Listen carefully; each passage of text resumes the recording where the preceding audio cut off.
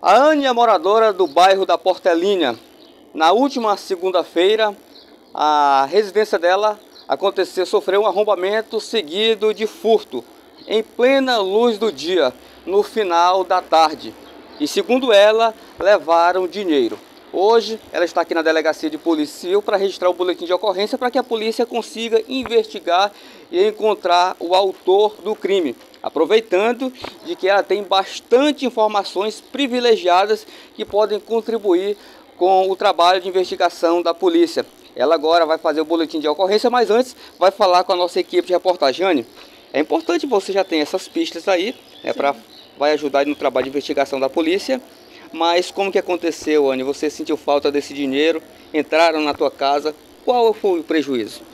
O prejuízo foi no valor de 405 né, onde, na verdade, eu não, não estava em casa, a minha sobrinha que estava, ela por questão de 15 minutos, ela foi no comércio e tem pessoas que inclusive eu chamei, conversei com a pessoa na quarta-feira e falei, é, são, são duas pessoas, mas um está descartado, né?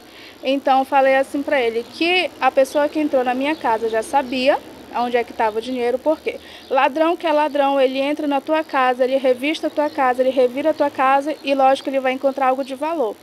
E aí, quando foi por volta das mais seis e meia para as sete horas, a gente foi, a minha sobrinha foi fazer procuração do dinheiro e daí já não estava mais. O que, que aconteceu? Chamamos a vizinhança, porque lá é kitnet, chamamos a vizinhança e tudo, e expliquei o que estava acontecendo. E tinha duas pessoas né, que eu suspeito, inclusive eu chamei e conversei.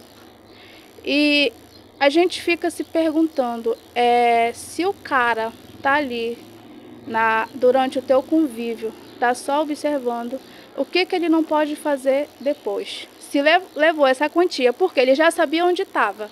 Ele foi certo na bolsa e pegou o dinheiro, apenas o dinheiro.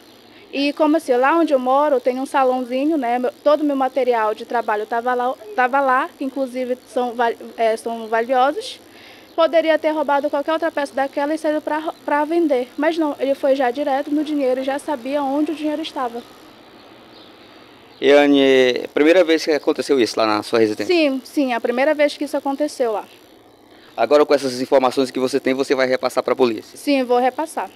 Vou repassar porque é, se a pessoa fez esse roubo, o que, que ela não pode fazer depois. Você acredita estar sendo monitorada, já que você é uma microempresária, está sendo ali monitorada por esses elementos Sim. e no momento certo eles agiram. Exatamente, exatamente. Muito bem, muito obrigado. A Anne, ela é microempresária, tem esse estabelecimento lá no bairro da Portelinha. Ela acredita ter sido monitorada durante todo esse tempo e os elementos é, levaram apenas o que interessava mais. E agora ela foi buscar, ela está aqui na delegacia de polícia civil, vai registrar o boletim de ocorrência para começar a investigação da polícia.